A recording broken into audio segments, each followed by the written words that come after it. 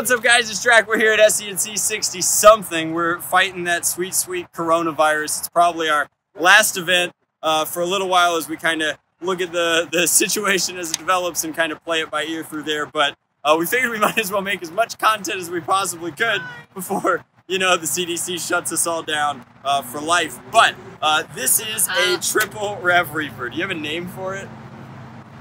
The triple Rev Reaper. Something, something Walrus Breath Blaster. Oh my goodness. oh, nuts. All right, so uh, it is it is in fact three Rev Reapers bolted together with hardware from Lowe's. Uh, it reminds me a lot of the kind of stuff that we've been doing for a long time, which is like a Manta, but a Manta would be sort of inverted.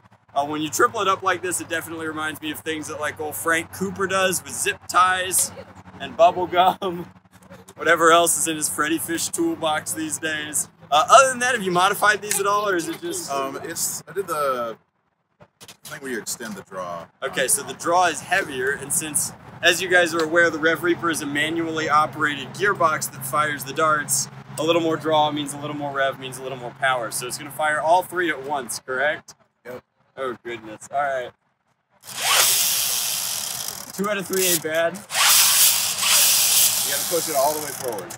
That, All the way forward, Yeah, that, that pulls the uh, See, pusher this- that's my issue is that I'm like, I'm going for regular drawing. I take it all back. This is fantastic.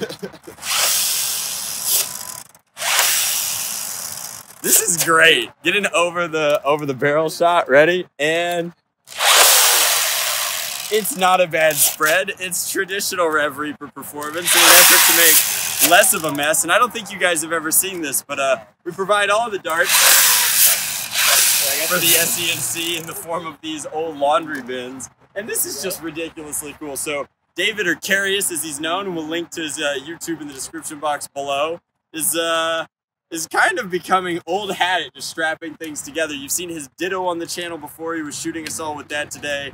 And uh, we're gonna need your help in the comment section down below. First off, how long do you think that the UK ban is gonna last? Because we are disappointed. And then second off, what should what should old Carius here name the uh, the TR, the special, uh, the triple Rev Reaper? But thank you so much for sharing it with us. Uh, if you're interested in the SENC, that link will be down in the description box below. It's a our fun and friendly super stock class Nerf Wars uh, here in East Cobb Park in Marietta, Georgia. Second Saturday of every month. If you're interested in David, a link will be to his uh, his channel. in the we're very tired today, guys. So we will uh, see you next time. Much love, Nerf on Drac out.